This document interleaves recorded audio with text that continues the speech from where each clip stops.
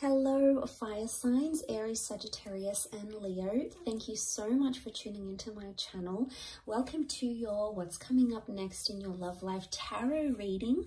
We're going to be exploring the next chapter in love. What's coming up? What's new? What's resurfacing again? What can you expect? What can the Prisma Tarot reveal for you in regards to your love lives? So this can be applicable for you if you are an Aries, Sagittarius, or a Leo watching, um, if you're a cross watcher dealing with an Aries, Sag, Leo, and also if you do have heavy fire placement in your natal birth chart, you may notice some of the energies resonate as well. So absolutely feel free to tune in. Um, let's give the cards a good shuffle and we'll see what's coming up. So don't forget to like this video if you enjoy it and also to subscribe to the channel. That's very much appreciated. I really appreciate all your likes, um, shares, uh, and subscriptions, guys. So thanks a lot. Let's have a look. My fire signs. The next chapter in love.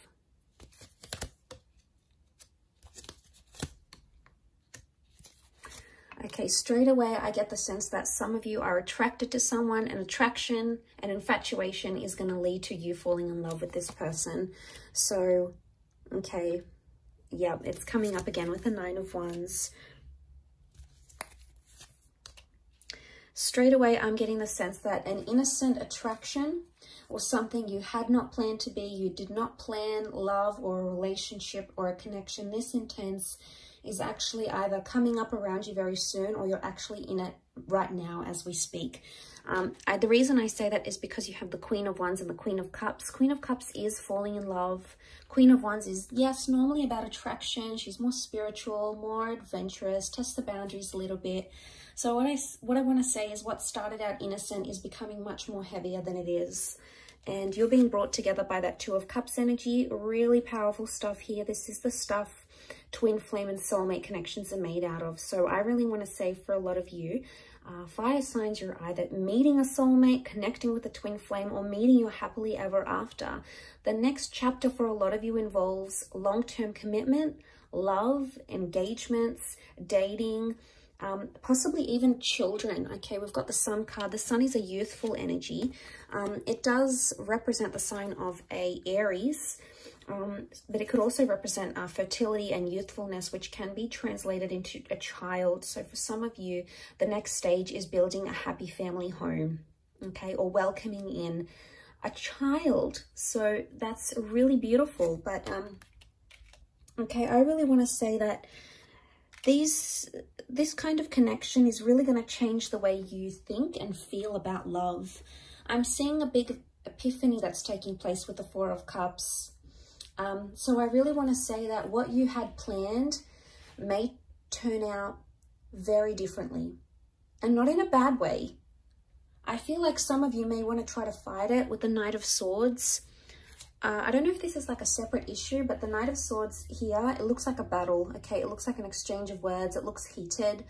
Um, it looks like it's fighting for something that you believe in. So I actually feel like the next chapter you're either defending it or you're fighting it. This could be the connection you're fighting for. This could be fighting with your loved one. It's not going to be for all of you, but I feel like with the Queen of Wands and the Knight of Swords, the vibe I get from both these two cards shows me that there's going to be a lot more jealousy coming up in your relationships, or you're going to grow a lot more jealous as a person, okay? Jealousy and possessiveness comes to mind. Um, or for some, there is an open-minded relationship or an open relationship. You're going to be seeing other people, um, maybe sleeping with other people, sharing your, your partner with other people. There's, I don't know if you're going to like it though. I mean, you can be quite possessive fire signs. So I don't know if you're going to like it. Um, but I feel like with the Eight of Wands, things, things are moving how they should be. Now, Eight of Wands is also about communication. So for some of you, if you're waiting to hear back on that special person, I feel like they may resurface, um, especially if this person hurt or deceived you because we've got the Seven of Swords. Some of you are entering a phase of deception. Either you're doing the deceiving or there's someone who's deceiving you. Um, but it's someone you love and it's someone you hold close.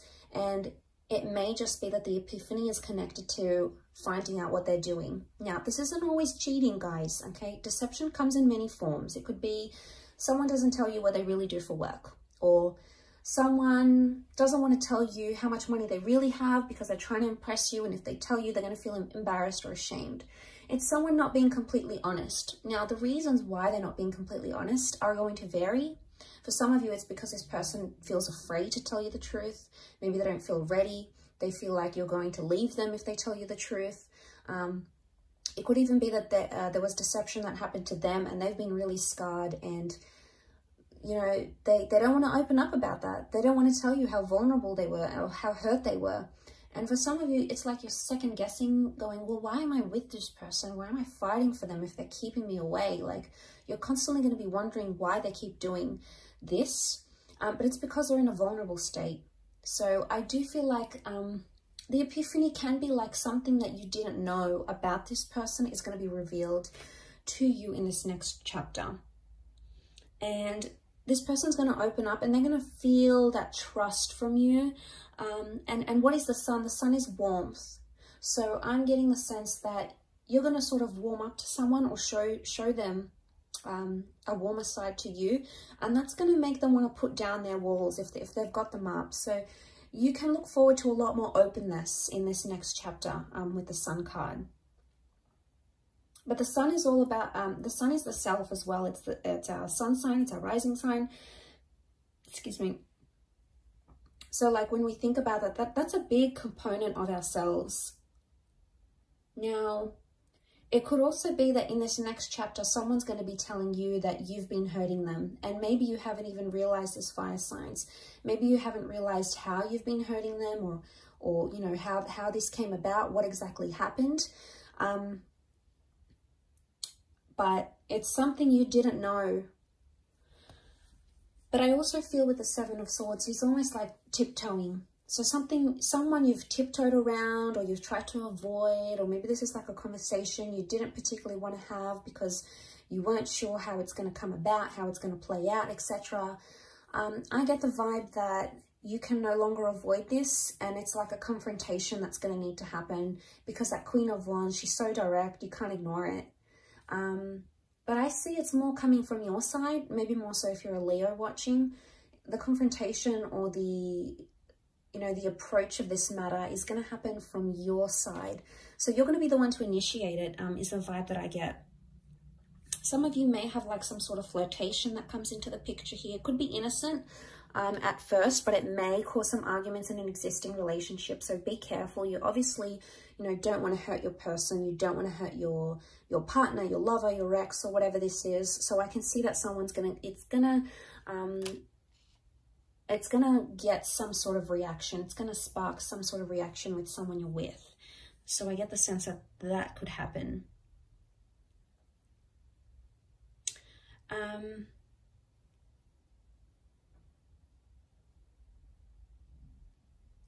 But I really feel a Two of Chalices, um, for those of you that have been single, you're going to be dating a lot and it's going to be pretty heated or pretty romantic. Or there's a lot of different people that are going to come in around you and they're really, they're going to give you their heart. So they're either going to be very expressive as in like, maybe on their third, fourth date, they're going to say, look, I love you, I'm falling for you. Um, or they're going to be quite emotionally dependent on you. And it's going to happen fairly quickly. Now, this could be a current connection or it could be one that's yet to play out in your life. But nonetheless, it could be one, it could be um, with someone who's super emotional, okay? Maybe clingy, needy, hypersensitive, possibly a water sign, maybe.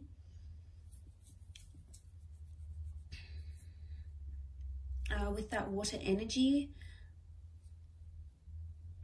but I also get the sense that this is, if this is you as the Queen of Wands, regardless of what gender you, uh, gender you identify as, if this is you as the fire figure, you're sitting here and you're pretty, looking pretty content, you know, you're pretty, looking pretty lustful here. And someone's sort of just watching and waiting. Um, I get the sense that someone's waiting for you, fire signs. It's either they're waiting for you to come back to them they're waiting for you to move countries and relocate to be with them. They're waiting for you to reunite with them. They're sort of, they're not doing much about it though. For some reason, they're being held back and they're not acting on it. Um, maybe they're scared it's going to result in an argument. But I feel like this next chapter that you're coming into or that you're approaching, there's someone who's really sort of watching and waiting. They haven't taken their eyes off you or they haven't um, taken their mind off what you had or the relationship you once came to develop between yourself and this person. So that hasn't shifted. And the sun, the sun is life force. The sun is like an injection of energy. So um, I feel like there might be someone here in this next chapter that's sort of watching and waiting for you and is either excited or determined or longing or like yearning for your relationship or maybe a past relationship to be revived once again. But I don't sense, sense that this person is acting now. I would say you either know who this person is and you haven't done much about it because you don't want to, or you do want to do something about it, but you're holding back. Maybe this new chapter is going to give you the opportunity to reconnect either in person, video call, um, go back on a date and explore what you had. This could even be a sense of like the one that got away it's like they're back. They want to return. They want to give it a shot. It's sort of like the one that got away, the one you could have had type energy. And it's a little bit nostalgic in a way. Um, but yeah, if that does make sense, some of you may know um, what I'm talking about when I say that. Some of you may not, and that's okay. It may not resonate for you. Um, but there's a lot of a lot of things that have come up for you. A lot of fire cards though. Queen of Wands, the Sun, the Eight of Wands. Um, I feel like love is coming into uh, your favor here. Things in a relationship are coming in favorably for you, fire sign. So I think you've got a lot to look forward to. Um, really positive reading for you guys. So I really appreciate you tuning in. Um, please don't forget to like this video and also to subscribe to the channel. Now, please don't forget to hit the bell notification button to get updates for when new readings are released. There's a lot more new content coming, which I know you guys are going to love. So um, please feel free to do that. Otherwise, I'm sure I'll catch you soon. Thanks a ton for watching and uh, bye for now.